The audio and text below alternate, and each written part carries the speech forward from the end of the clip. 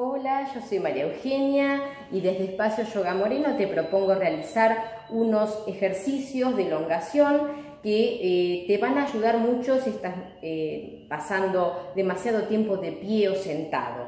La práctica es desde casa, entonces eh, vas a escuchar que hay sonidos que vienen de la calle, lo mismo que nos pasa a todos los que practicamos desde nuestro hogar. La propuesta es esa, encontrar un espacio de armonía en el lugar en el que vivimos sin pensar que esto está reservado para los que experimentan una situación idílica viviendo cerca de una montaña una playa tranquila. Todos tenemos que eh, procurar nuestra salud integral y acercar estos espacios en el lugar en el que vivimos, sobre todo si estamos en una ciudad con todos los estresores que se encuentran. Entonces, primero entra bien en calor tu cuerpo, los ejercicios de elongación tienen que ser con la musculatura entrada en calor para procurar justamente no lastimar los músculos ni las articulaciones. Yo te voy a ir mostrando cómo podemos hacer esta práctica. Una vez que ya, como te decía, entraste en calor, vamos a sentarnos con la espalda bien recta, las piernas bien apoyadas,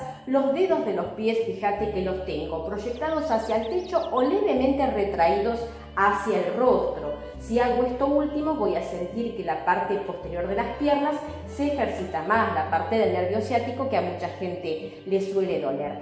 ¿Cómo hago con los brazos? Los brazos pueden estar al costado del cuerpo apoyados, con las manos este, bien firmes y eh, los dedos hacia el frente, o si quiero juntar más los homóplatos y proyectar más mi torso, puedo buscar una variante llevando los dedos de las manos hacia atrás. También puedo dejar mis manos sobre los músculos. Esto va a depender de eh, qué ejercicio, qué trabajo adicional quiera hacer a nivel del torso y de la espalda. Eh, voy a llevar mis manos al centro del pecho. Voy a sacar todo el aire primero en esta posición de saludo o Anjali Mudra luego voy a inhalar llevando los brazos hacia arriba, las palmas juntas y cuando empiezo a exhalar, acá está el secreto, empiezo a proyectarme hacia adelante. No pienso tanto en ir hacia abajo. Voy a imaginar que tengo que pasarle un objeto a una persona que estuviera más allá de la línea de mis pies. Entonces hundo el ombligo para bajar un poco más, pienso en mi torso que va descendiendo, Sigo pensando en ir hacia adelante, me ayudo proyectando mis hombros, mis brazos hacia frente, al punto que haya llegado en el día de hoy, tracciono, ¿sí? Me tomo de donde haya logrado estar, si es las rodillas está bien, las piernas, este, los pies hacia el frente, donde sea que yo haya llegado. Entonces, si hundo el ombligo sacando todo el aire voy a poder bajar más, la coronilla se proyecta hacia los empeines, hacia el frente y el rostro hacia las rodillas. Ahora yo no voy a hablar un segundito para poder mostrarlo mejor y no voy a hablar porque obviamente la boca me queda muy cerca de las rodillas y no se escucha. Bien, para desarmar entonces, desando el camino, curvo levemente mi espalda, inhalo junto las manos, Llevo los brazos hacia arriba y desarmo. Con este ejercicio trabajo por supuesto la elongación de las piernas, trabajo mi espalda, trabajo mucho la región lumbar, ¿sí? También, y por supuesto que el torso está involucrado. Emocionalmente ayuda a una sensación de logro porque aunque tenga que ir progresivamente aumentando la intensidad y el trabajo, me va a ayudar a respetar los límites que mi cuerpo hoy me imponga y de a poquito, si tengo constancia, ir persiguiendo cómo mejoro en esta práctica.